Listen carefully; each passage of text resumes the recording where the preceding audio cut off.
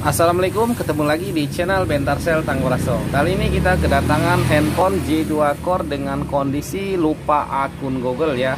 Handphone ini habis di reset dan lupa akun Google. Nah, di sini kita akan membypassnya secara manual tanpa menggunakan komputer. Nah, langsung aja kita masuk ke panggilan darurat ya, seperti ini ya. Kita ketikkan aja 112 panggil ketika muncul logo eh muncul titik tiga di pojok kanan atas kita klik dan kita kirim pesan. Lalu di sini kita ketikkan aja w.youtube.com atau w nya tiga kali titik youtube titik.com nah titik com gitu kan?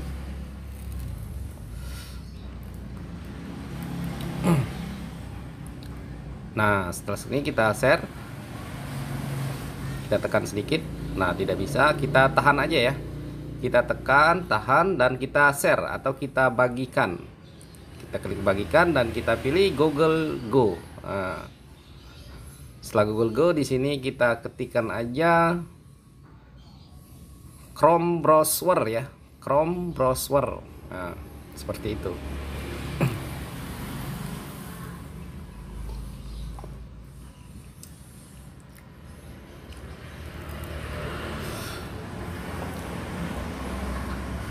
Baiklah teman-teman, jika belum subscribe, subscribe dulu di bawah ini ya.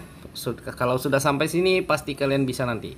Yang penting subscribe-nya dulu, biar semangat memberikan uh, informasi yang bermanfaat seputar handphone ya. Nah, langsung aja di sini kita pilih di sini ya. Segera update. Nah, kita klik, kita tunggu sebentar.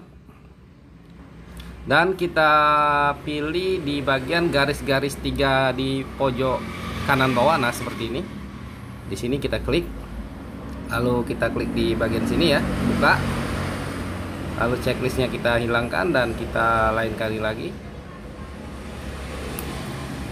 Langsung aja di sini kita ketikkan aja add rom add rom dot bypass com ya. Atau bisa dot bypass saja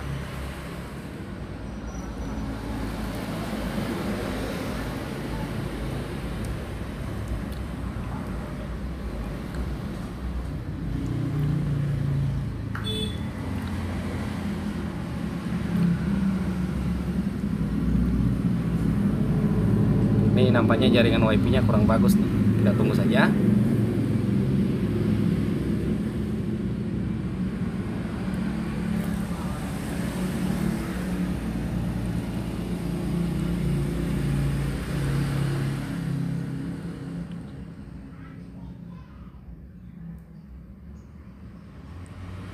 Nah, nampaknya kita ulangin lagi ya.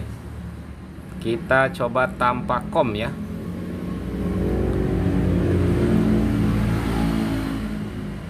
Add room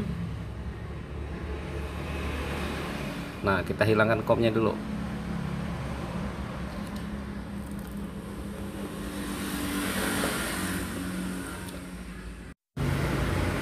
Nah di sini dia sudah nambah masuk ya di bypass Google akun kita klik. Google akun 2021 @room.com ya kita klik. Kita tunggu sebentar Lalu di sini kita akan mendownload dua aplikasi. Yang pertama kita download Android Gam 6 APK ya. Kita klik, kita hilangkan ini, kita tunggu sebentar. Lalu kita pilih lanjutkan dan izinkan. Kita download. Tekan OK, lanjut. Nah, setelah di-download 6 gam APK, lalu kita akan download FRP bypassnya juga sini kita download.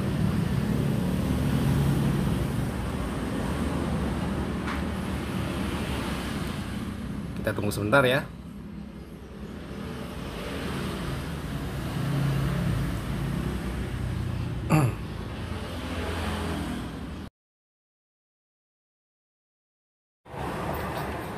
Nah setelah di download eh, kita cari tempat downloadnya di sini ya Nah, kita cari download. Nah, di sini dia sudah terdownload ya. Yang pertama kita install Android Gam 6 APK dulu. kita install kita aktifkan ininya sumber tidak dikenal kita kembali lagi kita install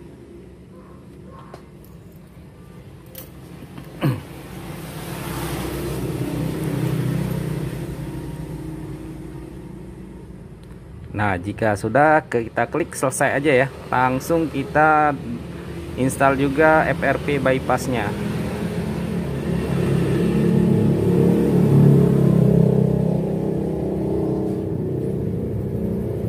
Setelah terinstall langsung aja kita buka. Kita buka kita masuk ke sini masuk ke browser kita tekan OK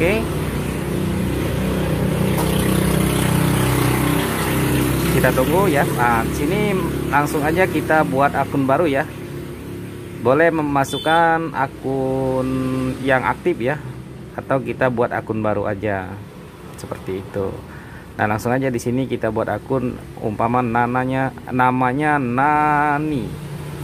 Nani cantik umpama ya. Nani cantik. Nah langsung kita scroll ke sini kita bikin Nani cantik.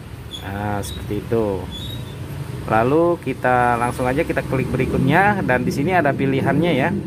Pilihan karena Nani cantik tidak cocok maka tersedia pilihan di sini. Kita pilih salah satu, kita masukkan sandi Sandi umpama cintaku 1 2 3 4 5 kita ulangin lagi cintaku 1 2 3 4 5 biar ingat ya kita lihat sama ya langsung aja kita klik berikutnya. Nah, di sini dia memintakan minta nomor telepon, nggak perlu langsung aja kita klik di sini tanggalnya. Kita masukin pada tanggal 15 dan bulannya bulan Mei tahunnya 1996 umpama gendernya wanita ya karena namanya Nani identik dengan wanita. Oke langsung kita klik berikutnya. Langsung kita tarik ke atas dan kita klik setuju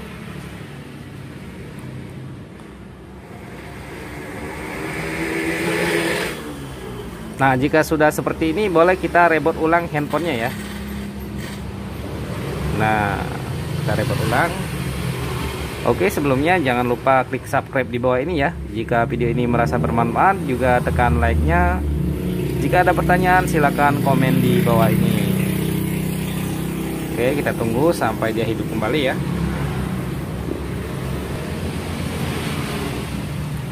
Nah setelah dia hidup kembali seperti ini Langsung aja di sini kita lanjut setupnya.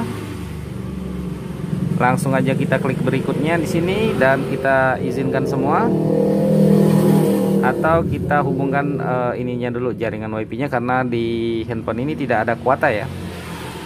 Maka kita tunggu aja kita jaringan WiFi nya nah sudah tersambung langsung aja kita lanjut ya. Kita klik semuanya aja kita lalu setuju memeriksa pembaruan cukup lama kita tunggu saja Nah, di sini dia sudah masuk ya, cantik Nani ya. 071 langsung kita klik berikutnya. Dan kita klik berikutnya lagi. Sandi kita tidak perlu ya, jangan sekarang, kita lewatin saja. Dan di sini kita pilih lain kali. Kita pilih lainnya dan lain-lainnya setuju. Lalu kita tekan OK saja. Kita klik selesai.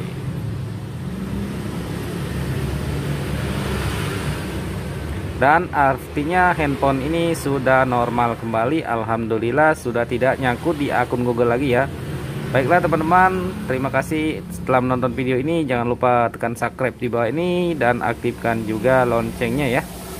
Saya akhiri wassalamualaikum warahmatullahi wabarakatuh. Semoga selalu bermanfaat.